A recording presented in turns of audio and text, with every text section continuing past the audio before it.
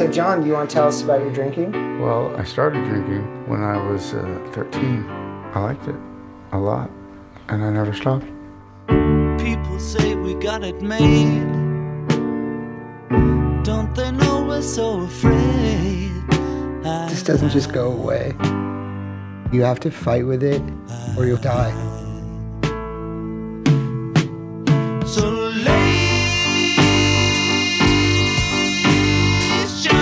Something really profound just happened to me, man. I don't expect you to understand after you've caused so much pain. You're just a human,